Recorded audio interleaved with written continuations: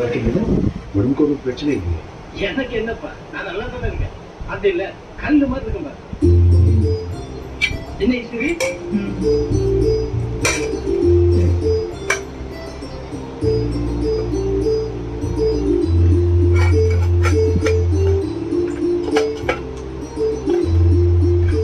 செல்விக்கா ஒரு காஃபி கொடுத்துருந்தா பயங்கர தலைவலியா இருக்கு. செல்வி அவன் தான் வண்டி ஓட்டிட்டு வந்தான்.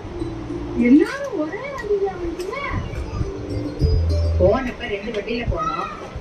ஒரு வண்டியில ஆறு பேர் எப்படி வருவாங்கன்னு யோசிக்காம ஒரு வண்டி எடுத்துட்டு வந்தாச்சு. என்ன பண்றது? இன்னொரு வண்டி ஏற்பாடு பண்ணலாம்னு யோசிச்சோம். அதுக்கு வேற செலவு கஷ்டப்பட்டு ஒரே வண்டியில ஆறு பேர் வந்தோம்.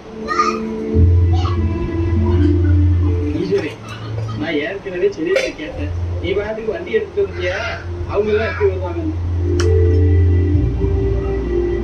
சரி சார். எல்லாரும் உட்காருங்க. நான் போய் காத்து எடுத்துக்கிறேன்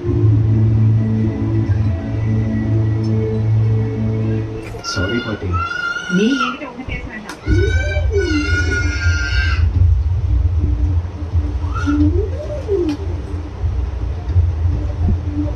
இல்ல பாட்டி.